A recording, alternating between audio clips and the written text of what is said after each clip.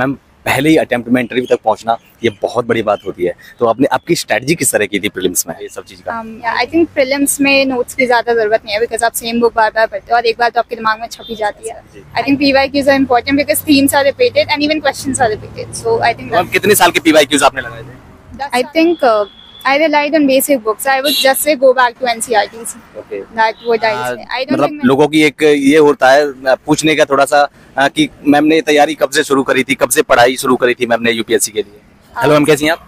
बहुत अच्छे हाँ। इंटरव्यू कैसा हो गया मैम आपका? होप सो अच्छा गया हो। ओके मैम अ, सबसे पहले आपका नाम एंड आपका एजुकेशनल बैकग्राउंड क्या है वो बताइएगा प्लीज़ मेरा नाम हिमानी अग्रवाल है। मैंने एल से बी कॉम ऑनर्स किया है हाँ। मैम इसके अलावा हम बात करें अगर आपका ये अटेम्प्ट कौन सा है एंड इंटरव्यू कौन सा है आपका?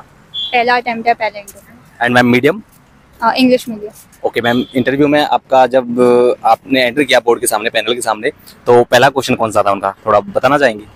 लास्ट में मसाला बॉन्ड्स क्या होते हैं। एंड मैम इसके अलावा और किस तरह के सवाल थे? ओवरऑल इंटरव्यू आपका डेप बेस्ड था या फिर करंट बेस्ड या फिर optional based I would say थोड़े क्वेश्चन कॉमर्स से थे बट डाफ बेस तो कुछ खास नहीं था। तो हम किस तरह के क्वेश्चंस थे थोड़ा सा बताना चाहेंगे?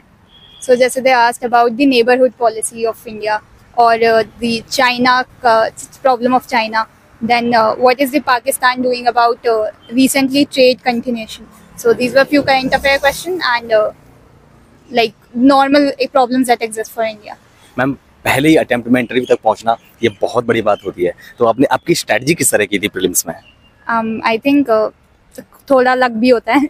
बट आई थिंक स्ट्रैटेजी वही थी कि बेसिक बुक रिवाइज करो और लाइक like, बार बार सोर्सेस मत चेंज करो। That's I think would be the strategy इसके अलावा थोड़ी सी और इलेबोरेट करेंगे अपनी अपनी स्ट्रेटजी को थोड़ा सा किस तरह से आपने पर्टिकुलरली आपने स्ट्रेटजी क्या अपनाई थी? किस तरह के अपने सोर्सेज क्या थे आपके? और अ, किस तरह से उनको पढ़ा था नोट्स बनाए थे या नहीं बनाए थे वो सारी चीज़ें थोड़ा सा ताकि हमारे जो और जो कैंडिडेट जो देख रहे हैं उनको पता चले इस सब चीज़ का। या आई थिंक प्रीलिम्स में नोट्स की ज़्यादा ज़रूरत नहीं है बिकॉज़ आप सेम बुक बार बार पढ़ते हो और एक बार तो आपके दिमाग में छपी जाती है। आई थिंक एन के लिए एन को बार बार रेफर करें बिकॉज़ मैंने पर्सनली देखा बहुत से क्वेश्चन एन से ही आ जाते हैं सीधा।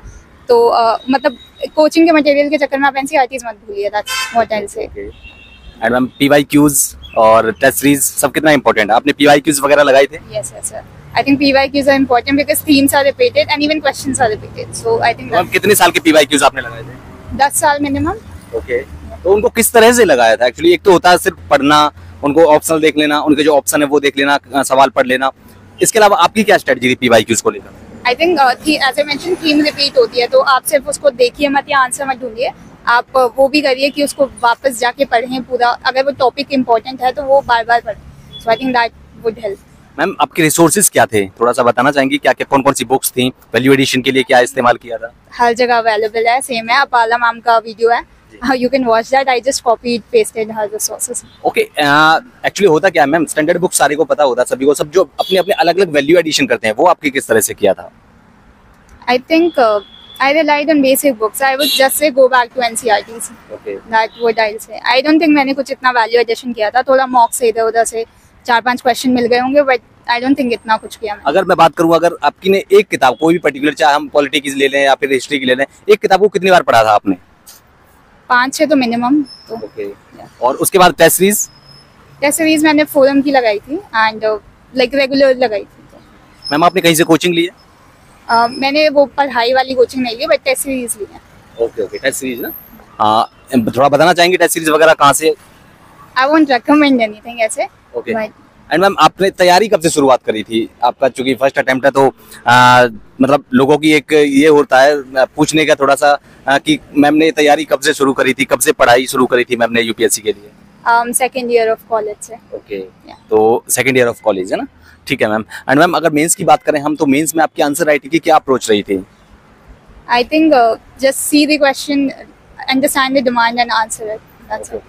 किस तरह की अप्रोच आपने फॉलो कर दी? पॉइंट वाइज या फिर पैराग्राफ फॉर्मेट में? या फिर कोई और आपकी स्ट्रेटजी थी मेंस के लिए? I think it's a mix of both. जो क्वेश्चन पूछा गया उसका वैसे जवाब होगा। अगर एक ही पॉइंट है आपके पास तो आप पैराग्राफ में ही लिखोगे। You can't write in pointers so I think it's a mixture of both okay and ma'am अगर हम मेंस uh, के लिए uh, बात करें हम like test series and value addition mains के लिए और GS one two three four चारों सब पेपर्स के लिए किस तरह की आपकी क्या आपने अलग अलग स्ट्रेटजी को फॉलो किया था या फिर सेम एक ही तरह की स्ट्रेटजी आपकी I think पढ़ो notes बनाओ and once that's done revise them again and again और value addition you can do from newspapers और कहीं भी content मिल जाए ले लो free content तो I think बहुत easily available है I think that's what I did